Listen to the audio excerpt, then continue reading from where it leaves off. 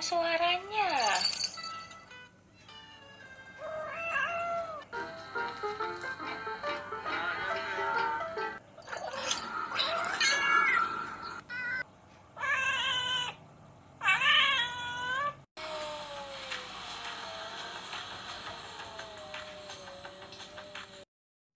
Halo cat lover.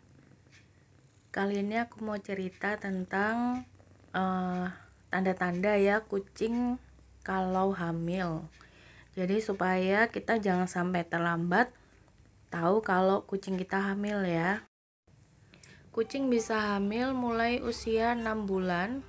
Makanya kalau punya kucing usia 6 bulan kalau ada jantan usahakan kalau birahi masukin dulu ke kandang ya karena kasihan banget kalau masih kecil udah hamil kehamilan kucing itu sekitar 9 minggu ya.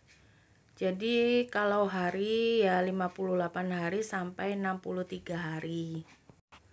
Untuk di minggu-minggu pertama itu biasanya belum terlalu terlihat gejalanya ya. Tapi biasanya kucing kamu tuh lebih suka tidur dan banyak makan.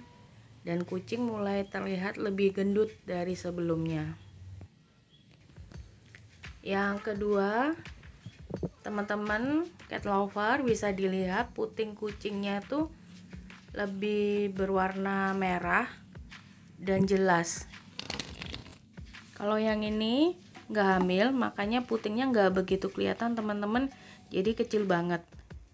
Nah ini kucingku hamil awal-awal aku kelihatan karena dia dicukur bulu bawahnya nah ini putingnya kayak gini kalau lagi hamil ya jadi dia putingnya tampak dan berwarna pink dan lebih besar daripada puting yang sebelumnya.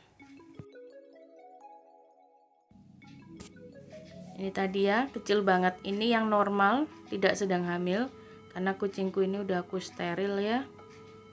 Jadi seperti puting cowok gak kelihatan kalau nggak hamil. Ini puting cewek bubu lagi hamil tuh jadi kelihatan banget ya warna pinknya dan membesarnya kelenjar susunya tuh kelihatan.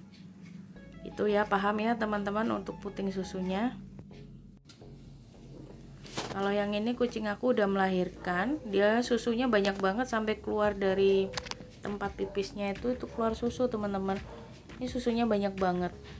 Nah ini yang udah melahirkan jadi nanti membesar dan bakalan seperti kayak gini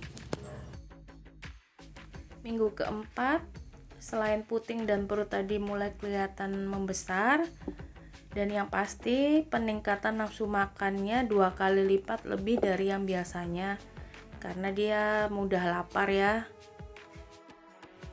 Jadi kalau teman cat lover punya kucing yang lagi hamil usahakan ketika hamil dikasih makannya yang banyak banget pokoknya kalau bisa harus sampai gendut. Kenapa? Karena ketika dia lahiran nafsu makannya bakalan berkurang dan dia bakalan bisa jadi kurus.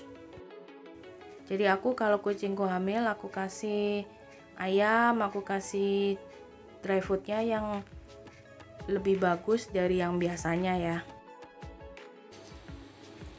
Minggu kelima dan keenam kucing itu jadi lebih manja sama kita cat lover jadi dia udah kayak malas gerak gitu.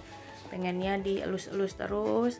Dan yang bisa diperhatikan adalah perutnya udah mulai gede banget. Kita bisa raba kita bisa elus-elus sambil diraba. Akan terasa kayak ada yang gerak-gerak gitu di perutnya.